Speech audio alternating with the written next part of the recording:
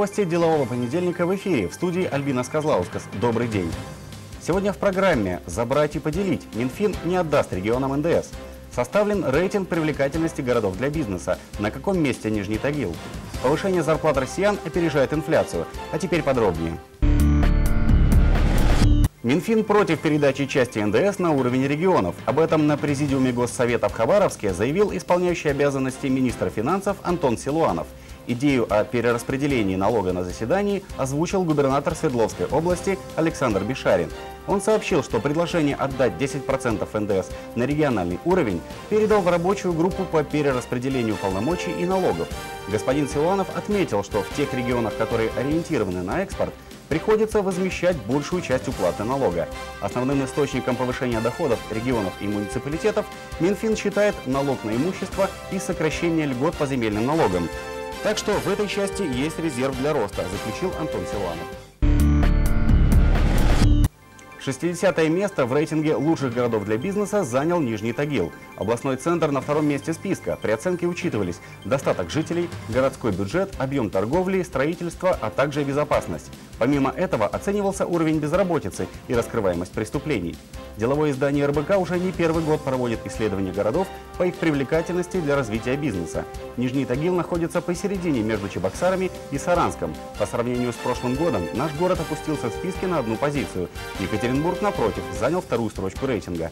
На первом месте удерживается Краснодар. Там, по мнению газеты, лучше всего начинать свое дело. Авторы исследования пришли к выводу, что за последние три года большинство муниципальных чиновников в стране превратились, по сути, в антикризисных менеджеров, которые думают лишь о выживании. О планомерном развитии населенного пункта речь в принципе не идет. За последние четыре года зарплаты россиян выросли вдвое. К такому выводу пришли исследователи компании «Финэкспертиза». Минимальное увеличение доходов на 53% с 26,5 тысяч рублей до 40,5 зафиксировано в Ханты-Мансийском округе. Максимальный же рост зарплат отмечен в Дагестане на 127%. К выводу о том, что рост зарплат в России в полтора раза обогнал инфляцию, аналитики пришли, сравнив абсолютное увеличение доходов с ростом стоимости потребительской корзины. По словам аналитиков, рост доходов не должен опережать увеличение производительности труда. Однако в правительстве России планируют, что в ближайшие 2-3 года средняя зарплата россиян вырастет до 32 тысяч рублей.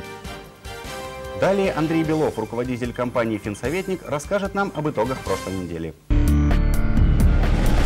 На прошлой неделе на смену Греции объявился новый возмутитель спокойствия – это Италия. Опасения инвесторов за ее экономическую судьбу вызвали снижение основных индексов, в том числе и российских. В итоге индексом МВБ и РТС потеряли почти по 1%.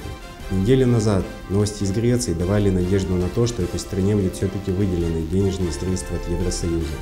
Однако долговые проблемы Италии и снижение рейтинга Франции агентством CP подпортили настроение инвесторам. Даже спекулятивный рост на нефтяном рынке был перебит итальянской тенденцией. Эта неделя, судя по всему, будет довольно нервной для инвесторов. График доллара по отношению к рублю показал двойную вершину, что говорит о возможном укреплении рубля по отношению к доллару на этой неделе. А что ждет инвесторов российского фондового рынка на этой неделе? В случае благоприятного внешнего фона индексом МВБ попытается подрасти до 1530 пунктов. В случае негативного развития сценария индексом МВБ может опуститься к 1450 пунктам и возможно пойти ниже. Таковы деловые новости понедельника 14 ноября. Успехов в делах и до встречи. В студии для вас работал Альбина Сказлаускас. В офисе компании «Финсоветник» вы можете получить консультацию и оформить документы на брокерское обслуживание, а также посетить курсы подготовки к работе на фондовом рынке. Записаться на курсы и узнать подробную информацию можно по телефонам 92 42 82, 92 42 72. Услуги брокерского обслуживания предоставляются ООО «Алор Плюс».